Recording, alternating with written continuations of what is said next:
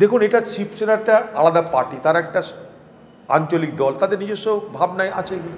তারা তো জানে না যে পশ্চিমবঙ্গে পঞ্চায়েত যখন হয়, তখন ভোট দিতে দেওয়া হয় না, কুড়ি হাজার আসনে বিনা প্রতিদ্বন্দ্বিতায় জিত হাসিল করা যায়।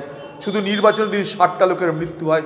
তারা তো জানে না যে কংগ্রেস করার অপরাধে হাজারে হাজারে কংগ্রেসের কর্মী জেলের মধ্যে মাদক পাচারকারী হিসাবে জেল কাটছে বছরের পর বছর। তারা তো জানে না।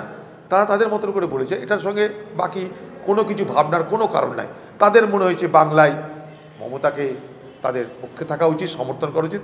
জানি না তারা কী করবে আগামী দিনে, কারণ বাংলায় শিবসেনার কোথাও কোনো অস্তিত্ব আছে বলে আমার জানা নাই।